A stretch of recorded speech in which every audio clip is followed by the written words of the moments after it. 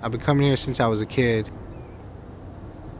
I love this place just because it's it's peaceful. I get to escape from from reality and just forget about my worries, my struggles. This year's been uh, definitely tough for me. I was working full time and I was going to school full time. On top of that, I've been dealing with uh, a lot of personal issues.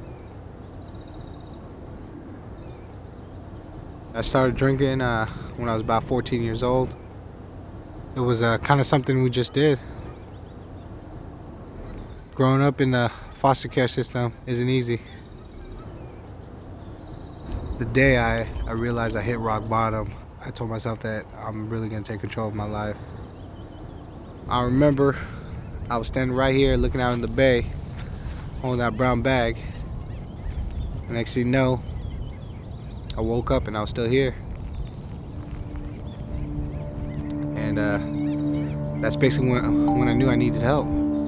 Checked myself into rehab. Come to find out my medical insurance couldn't cover it. But luckily I was able to sign up for Medi-Cal through the Affordable Care Act. Got the help I needed.